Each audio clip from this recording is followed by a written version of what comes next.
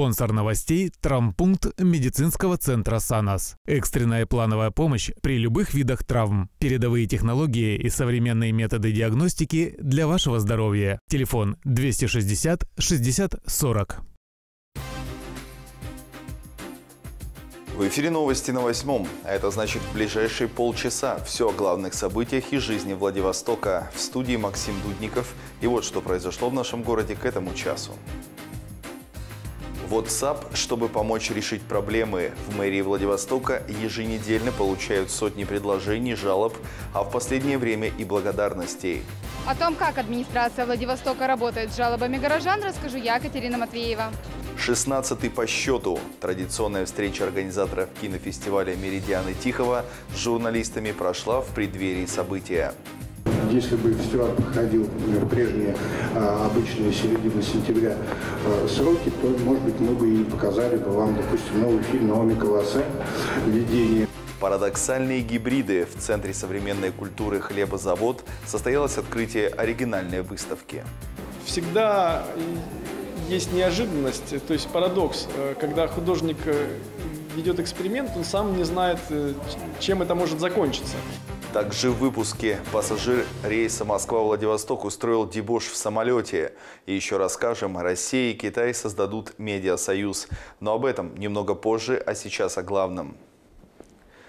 Более 80 жалоб на нарушение избирательного законодательства в ходе второго тура выборов губернатора Приморского края, в том числе на подкуп и подвоз незаконной агитации, поступило в избирательную комиссию региона 17 и 18 сентября. В Приморье прибыла комиссия ЦИК. Члены комиссии намерены посетить территориальные избирательные комиссии, в частности в Советском районе Владивостока и Артемия, а также, возможно, охватят и другие территории. А приморские парламентарии уже уже назвали условия для проведения новых выборов главы региона. Подробности в нашем следующем сюжете. Комиссия Центр избиркома России 19 сентября прибыла во Владивосток. Комиссия пробудет в Приморье предположительно 2-3 дня. За это время она ознакомится с жалобами на нарушение во втором туре губернаторских выборов и посетит некоторые избирательные комиссии региона. В комиссию вошли член Центральной избирательной комиссии России Сепшах Шапиев и три сотрудника аппарата. Планы – объективно разобраться в ситуации, ознакомиться с документацией, ознакомиться с претензиями обеих сторон и посмотреть те письменные документы, которыми обладает каждая из сторон, проехать по комиссиям, встретиться с правоохранительными органами. Напомним, после второго тура выборов с жалобами в разные инстанции, прокуратуру, МВД, следственные органы, Краевую избирательную комиссию, участковые избирательные комиссии обратились представители штабов кандидатов, частные лица, работники избирательных комиссий. Ранее глава ЦИК России Элла Памфилова сообщила, что Центр избирком до среды берет тайм-аут на изучение всех обращений по ситуации на выборах в Приморье и пообещала тщательно изучить все факты от обоих кандидатов.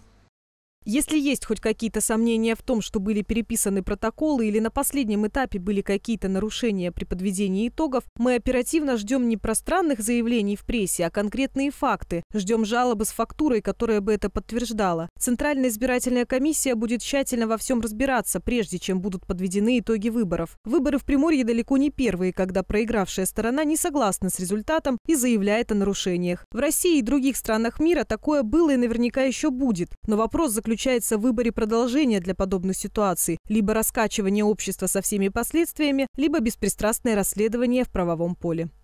В штабе кандидата в губернаторы Приморья единоросса Андрея Тарасенко уже заявили об уверенности в победе. По данным ЦИК, во втором туре на досрочных выборах главы региона по итогам обработки 100% протоколов в Рио губернатора Приморья набрал 49,55% голосов, обойдя своего оппонента, кандидата от КПРФ Андрея Ищенко, примерно на 1,5%. Однако итоговый протокол пока не подписан. Тем временем в законодательном собрании Приморского края назвали условия условия для отмены результатов выборов.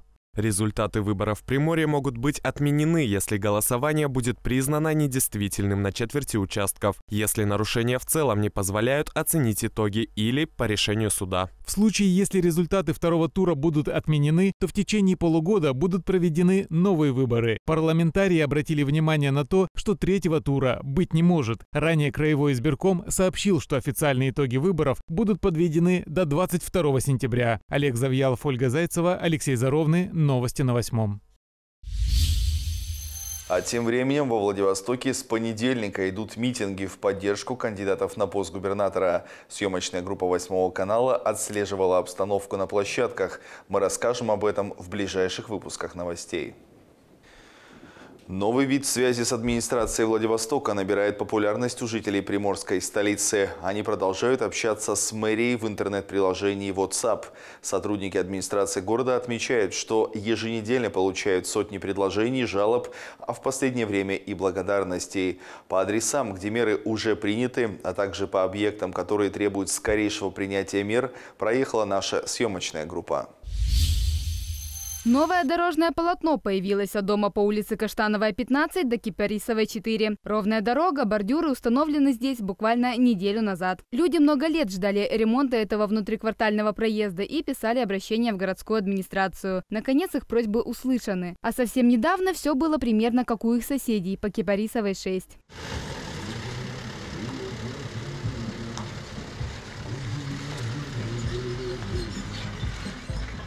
А мы сфотографировали с девочкой, по-моему, это было 8 вот перед выборами. Все фотографии отправили в городскую администрацию. Она пришла смс, что ваши фотографии получили в городской администрации. Ну, ждем, ждем что-то хорошее. По обращениям граждан до конца этого года будет отремонтировано еще 6 городских дорог. Это проезды от Есенина 77 до Коммуны 2, по Пушкинской, по Океанскому проспекту 4850, по улице Зои Космодемьянской 31, также продолжит ремонт катерной. Все средства выделяются из городского бюджета.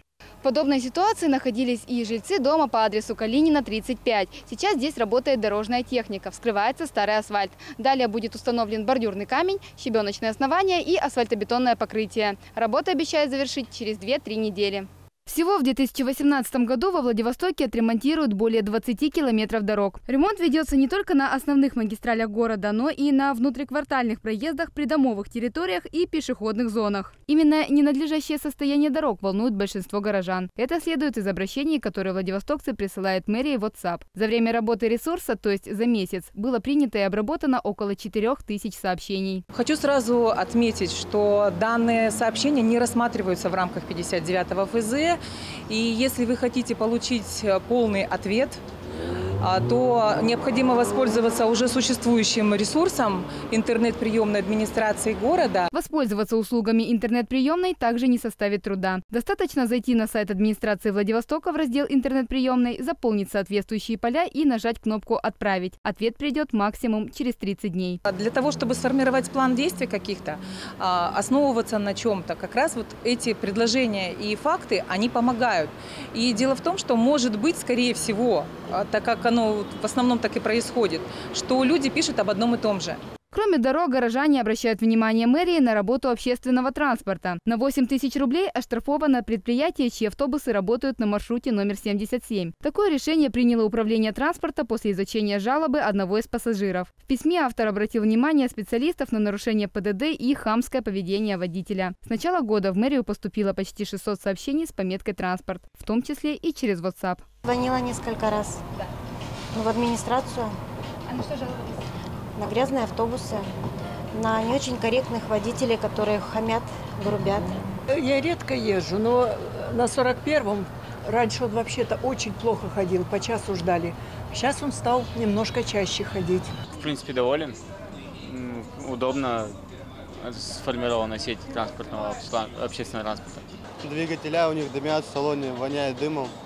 Ну, а вот насчет маршруток, вот раньше 40 автобус ходил, ну, его как бы убрали, потому что он уже непригодный был, ну, как транспорт. Ну, а вот маршрутки вот сделали, они нормальные, да. Кстати, по многочисленным просьбам студентов на острове Русский был запущен еще один автобус на маршрут номер 15, следующий от остановки Изумруд к океанариуму и обратно. Каждая жалоба для нас – это ЧП. Стоял ли долго водитель на остановке, грязный ли был автобус, ушел ли с линии раньше положенного. Все эти факты для нас – сигнал о том, что не все в работе общественного транспорта Владивостока благополучно. Стараемся оперативно принимать меры, сказал Сергей Цибулин, начальник управления транспорта администрации Владивостока. Чтобы сообщить о фактах, на которые следует обратить внимание или высказать свои идеи о том, как улучшить жизнь в городе, просто отправьте сообщение, фото или видео по WhatsApp на номер 8 914 703 0011. Катерина Матвеева, Сергей Тулатиев. Новости на восьмом. В Москве продолжают рассматривать дело экс-главы Владивостока Игоря Пушкарева, бывшего директора МУП «Дороги Владивостока» Андрея Лушникова и ранее возглавлявшего компанию «Восток Цемент» Андрея Пушкарева. В среду состоится очередное слушание по существу дела. Напомним, после того, как будут допрошены все свидетели, состоятся прения сторон, а затем суд вынесет свое решение. Подробности прямо сейчас.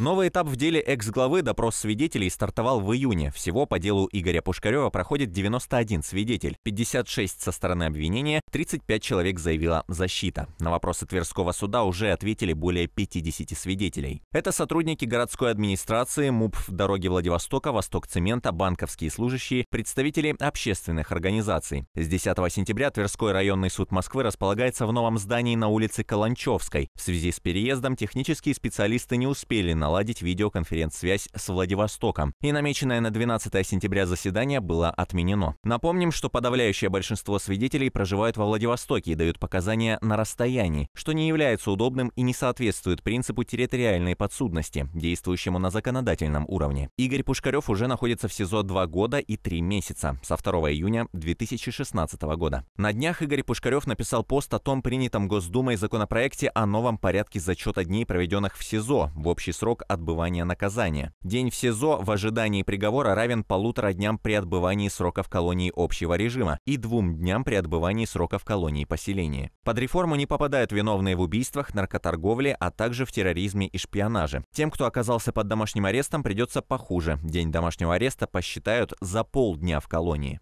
В общем, очень гуманное решение, особенно если принять во внимание тот факт, что правила пребывания в СИЗО намного строже правил и условий большинства мест отбывания наказаний. Несмотря на то, что Пушкарев находится в СИЗО в Москве более двух лет, владивостокцев все так же остро интересуют подробности уголовного дела, мысли и планы Пушкарева. В рамках акции «Обратная связь» с экс-главой Владивостока можно связаться на официальном сайте Игоря Пушкарева, а также ВКонтакте, Фейсбуке, Инстаграме и Одноклассниках. Акция «Обратная связь» стартовала в ноябре прошлого года. Игорь Пушкарев благодарит всех неравнодушных граждан, интересующихся ходом следствия, присылающих ему слова поддержки, и отметил, что будет и впредь отвечать на все вопросы вопросы, которые поступают в его адрес. Максим Яковлев, новости на восьмом.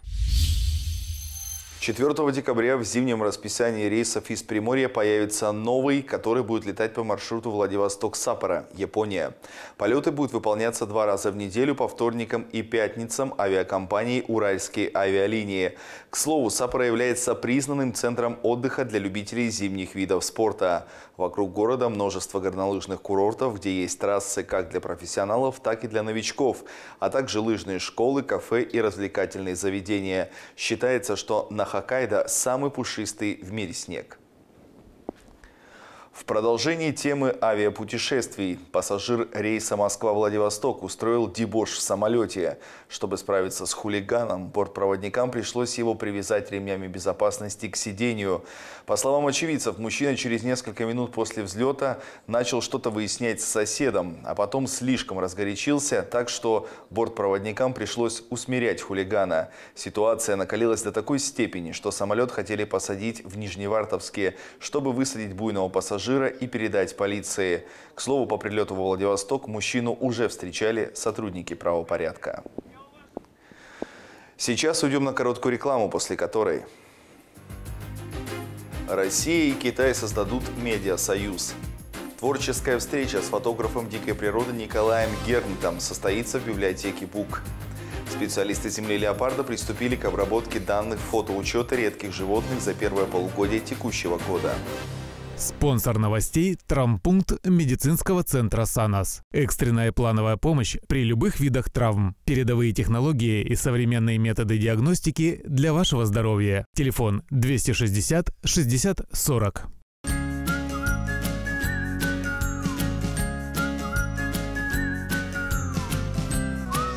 Травмы и ушибы всегда возникают внезапно. Они резко меняют наши планы – Травмпункт медицинского центра «Санос» – это то, что вы искали. Оказание экстренной помощи без очередей и записи при любых видах травм. Современный цифровой рентген поможет выявить даже сложно диагностируемые повреждения. Травмпункт медицинского центра «Санос». Мы заботимся о вашем здоровье.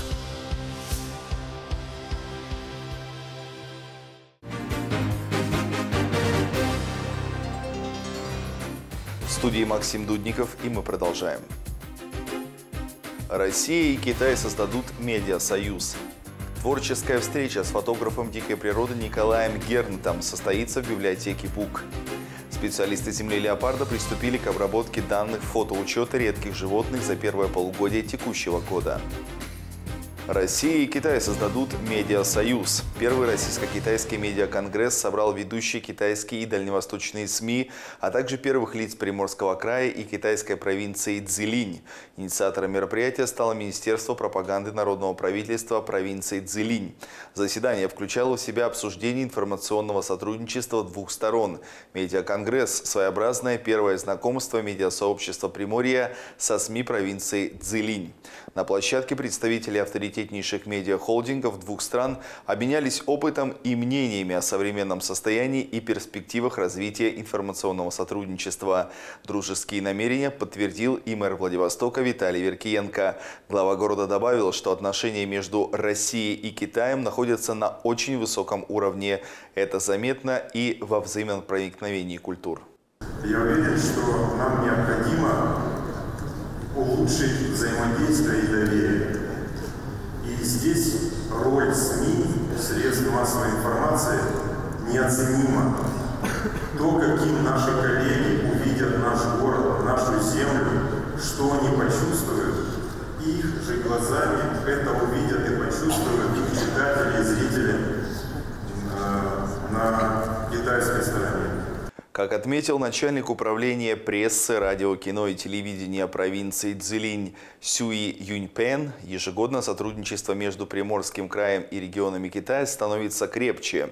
Итогом российско-китайского медиаконгресса стало подписание соглашения о намерении создания регионального российско-китайского медиасоюза. Как известно, провинция Целинь граничит с Приморьем. Наши регионы тесно сотрудничают. Надеюсь, медиаконгресс станет постоянной площадкой для сотрудничества наших стран. Мы хотели бы создать скоростную дорогу для обмена медиаинформацией. Мы сможем расширить круг наших друзей, а также укрепить культурные связи. Стоит отметить, на протяжении пяти лет восьмой канал сотрудничает с китайскими коллегами. В июле этого года наш канал заключил годовой договор с телевидением провинции Хэлудзян на прокат медицинской программы «Тайны китайских докторов». В настоящее время готовится проект «Окно в Азию» для обмена информационными материалами и программами с правительством города Суйфенхэ.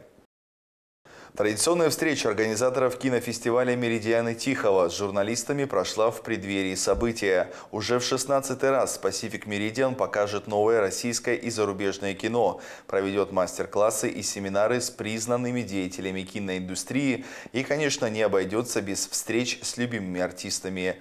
Чем обещает отличиться кинофестиваль этого года, расскажет моя коллега Анна Бережная. Пресс-конференцию накануне 16-го кинофестиваля «Меридианы Тихого» можно назвать скорее дружеской встречей организаторов и журналистов, которые уже по традиции из года в год освещают масштабное культурное событие. В первую очередь обсуждали то, чем отличится Pacific Meridian 2018. Если бы фестиваль проходил в прежние а, обычные середины сентября а, сроки, то, может быть, мы бы и показали бы вам, допустим, новый фильм Наоми Колосе «Видение», который прекрасен. Э, это фильм по скрипту ну, поэтому вот я сразу его начинаю рекламировать. С Жюльет Бинош, это какая-то фантастическая совершенно история, не пропустите его все.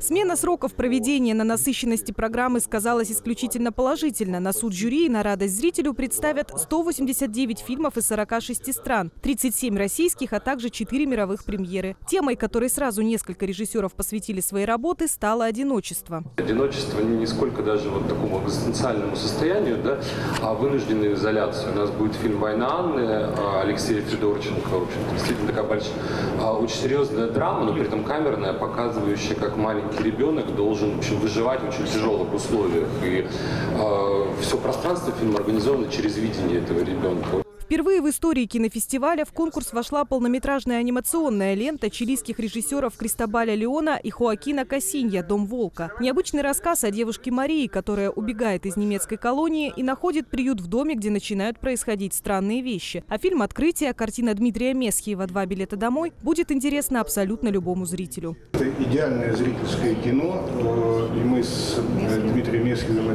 об этом говорили на кинотавре. Он очень э, рад был, что у него будет возможность приехать в Владивосток, потому что он здесь э, очень много наслышан, он хочет увидеть это своими глазами. Для него это какой-то э, мифический город, как земля Санникова. То есть ну, там вот что-то происходит, что-то такое, чего нет нигде. Впервые «Меридианы Тихого» посетят и такие звезды, как Энди Макдауэлл и Эрик Робертс. Главным гостем станет голливудский актер Стивен Сигал. А бессменный гость кинофестиваля «Рок Бринер» в первый раз не сможет посетить события из-за болезни. Он, конечно, мысленно с нами. Он уже выбрал, просмотрел фильмы, выбрал победителя, а, которому будет вручен приз Юла Бриндера. Вот. И мы все желаем вам быстрее и быстрее поправиться и быть с нами на следующий год. Президентом 16-го международного фестиваля стран АТР «Меридианы Тихого» стал Александр Михайлов. К слову, актер из Владивостока займет этот почетный пост в год 80-летия со дня образования Приморского края. Фильмами закрытия Pacific Meridian-2018 станут картина «На районе» режиссера Ольги Зуевой, а также поэтический роуд-муви «Видение» Наоми Кавасе с Жюльет Бинош в главной роли. Кинофестиваль пройдет во Владивостоке с 21 по 27 сентября. Анна Бережная, Станислав Лазебный. Новости на восьмом. Искусство выбирает парадоксальную гибридизацию и делает это намеренно. В Центре современной культуры «Хлебозавод» состоялось открытие выставки «Парадоксальные гибриды». Зритель столкнется с объединением несочетаемых эстетик и работ, которые вступают в логику парадокса с другими участниками, находясь в одном пространстве. Куратор выставки Аристарх Чернышов, российский художник, исследователь, куратор столичного электромузея в Ростокино. Посетил выставку и наш корреспондент Дмитрий Беломеснов. Гибрид – объект, сочетающий в себе свойства других нескольких объектов. Принцип гибридности сегодня успешно используется в дизайне, архитектуре, создании новых материалов и технологий, медийного контента и, конечно, в искусстве. В арт-воплощении принцип гибридности идет дальше всего, ведь именно искусство способно иметь дело с невероятным, нелогичным, парадоксальным. Всегда есть неожиданность, то есть парадокс, э, когда художник э, ведет эксперимент, он сам не знает, э, чем это может закончиться. И многие работы, они в процессе то есть они рождались не в тот момент, когда художник их задумал, а в процессе их реализации. Эта выставка – второй проект в области science art. Парадоксальные гибриды целенаправленно объединяют противоречивые взгляды, методы исследования пространства, подходы к анализу современности. Всего представлено 15 работ. От видеоинсталляции, где главные герои – обычные люди, которые стоят на остановке, до интерактивного видео.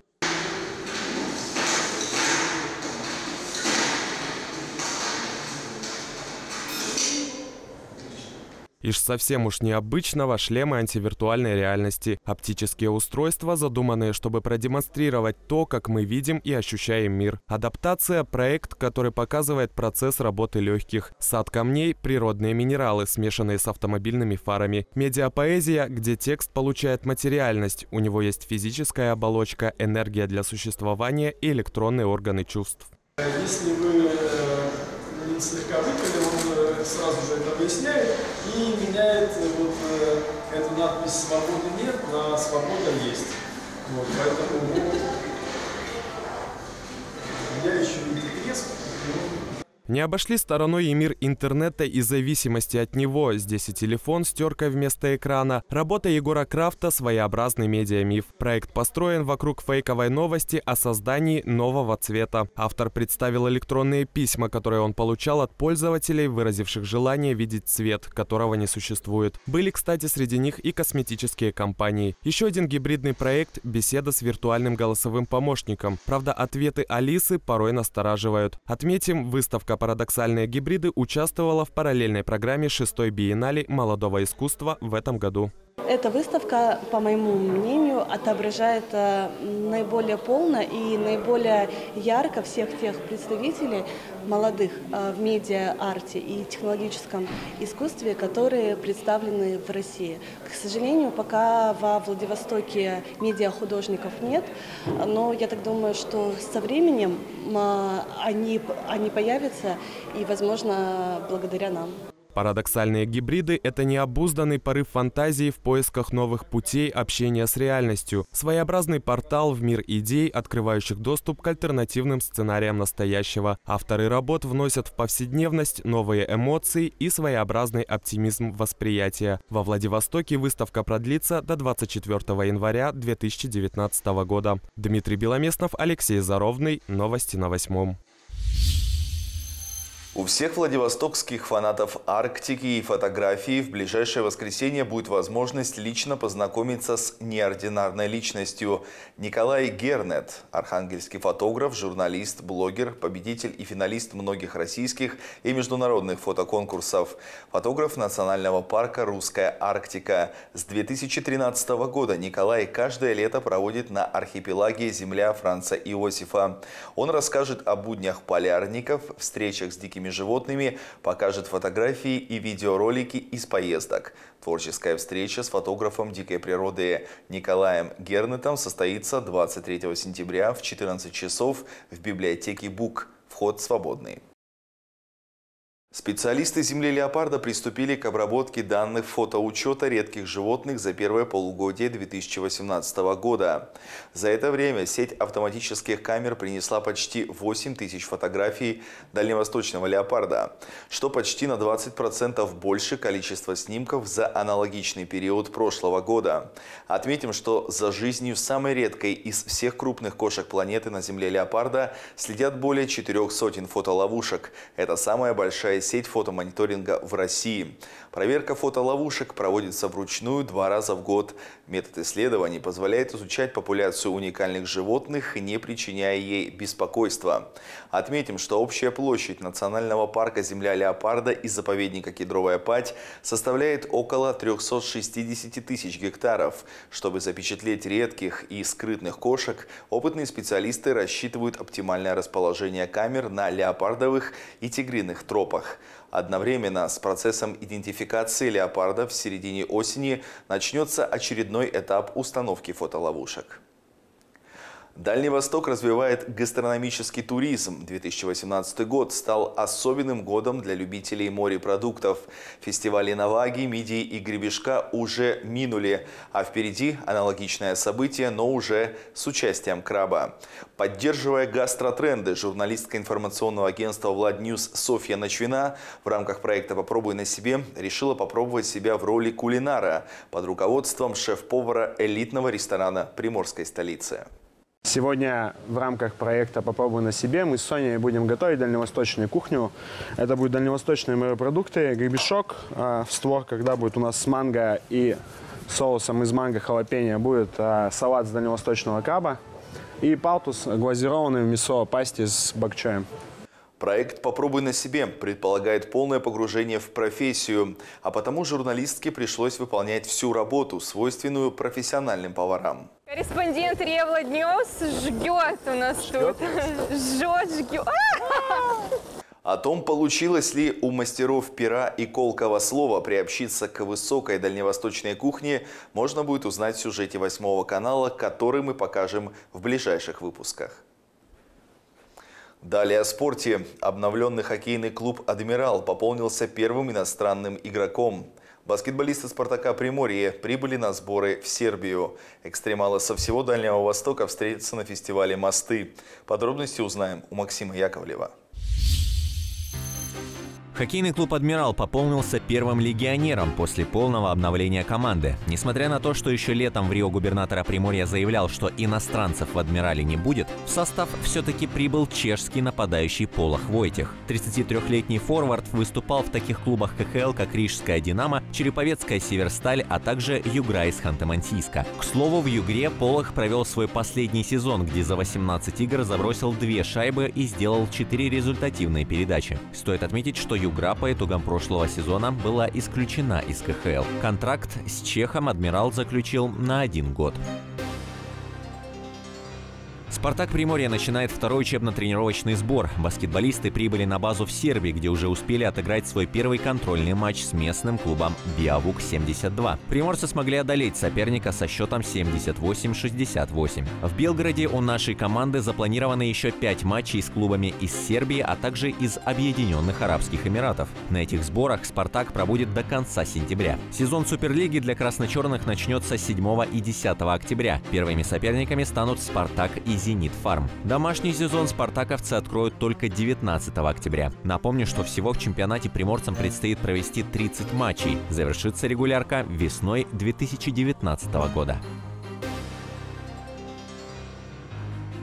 Экстрим-фестиваль «Мосты» вновь пройдет во Владивостоке. 22 и 23 сентября скейт-парк на спортивной набережной соберет спортсменов со всего Дальнего Востока. Десятки участников сойдутся в битве за звание лучших в категории BMX, скейт и кик-скутер. Мероприятие проходит во Владивостоке с 2015 года. За этот короткий промежуток времени Экстрим-фестиваль стал центральным в календаре у дальневосточных любителей скейтов, трюковых велосипедов и самокатов. Эти соревнования выявляют самых умелых трюкачей и подводят некий некий итог тому, чему райдеры научились за лето. В этом году мероприятие посетят и специальные гости – спортсмены сборной России по велоспорту в категории BMX. Они и будут решать судьбу экстремалов. Открытие соревнований пройдет 22 сентября в 12.00. Максим Яковлев, новости спорта на восьмом. И напоследок еще раз коротко об основных событиях во Владивостоке. Более 80 жалоб на нарушение избирательного законодательства в ходе второго тура выборов губернатора Приморского края поступило в избирательную комиссию региона. В Приморье прибыла комиссия Центр избиркома. В Москве продолжают рассматривать дело экс-главы Владивостока Игоря Пушкарева. Всего по делу Игоря Пушкарева проходит 91 свидетель. На вопросы Тверского суда уже ответили более 50 из них. Россия и Китай создадут медиасоюз. Данную перспективу обсудили на первом российско-китайском медиаконгрессе. Новый вид связи с администрацией Владивостока набирает популярность. Сотрудники администрации города отмечают, что еженедельно получают на номер WhatsApp сотни предложений, жалоб, а в последнее время и благодарностей. Традиционная встреча организаторов кинофестиваля «Меридианы Тихого» с журналистами прошла в преддверии события. Уже в 16 раз он пройдет в столице Приморья. В Центре современной культуры «Хлебозавод» состоялось открытие выставки «Парадоксальные гибриды». На сегодня это все. Есть что добавить, заходите на страницы 8 канала во всех социальных сетях или на наш официальный сайт. Там найдете все видеоматериалы, а также другую полезную информацию. Но если вы вдруг пропустили что-то значимое, то смело подписывайтесь на 8 канал Владивосток в YouTube. Самые интересные события оставляйте на официальном сайте канала или присылайте на WhatsApp. Его номер вы увидите в конце выпуска. Телефон нашей редакции 249 88 12. Звоните, и уже завтра вы можете стать авторами новостей. Хотите о чем-то рассказать городу? Мы поможем. Восьмой канал. Главное – Владивосток. В год Японии в России жители страны восходящего солнца продолжают удивлять приморцев. Так, на днях молодой человек из Токио объявил о своей свадьбе. И все бы ничего, если бы невеста не была голограммой. Устройство представляет собой небольшой дом-капсулу из пластика с электронной базой. На экране появляется девушка, у которой есть имя, родословное, вкусовые предпочтения и даже страхи. Голограмма будет своего сожителя, сообщает ему погоду, рассказывает о мировых новостях, помогает собраться на работу, ждет из офиса и пишет смс чтобы ее друг не задерживался. И вот 35-летний японец убедился, что 10 месяцев его сожительства с необычной девушкой вполне достаточно, чтобы перейти на новый уровень отношений. Он сделал голограмме предложение руки и сердца. На то, как выглядят такие виртуальные отношения, смотрим прямо сейчас и без комментариев. Сразу после прогноз погоды. Меня зовут Максим Дудников. До встречи на восьмом.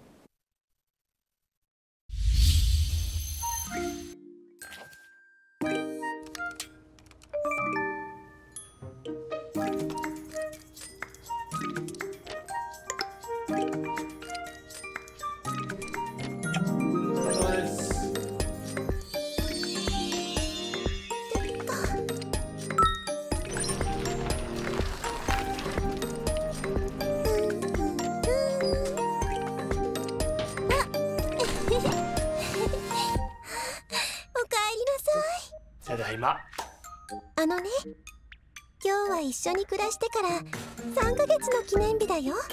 覚えてた？もちろん。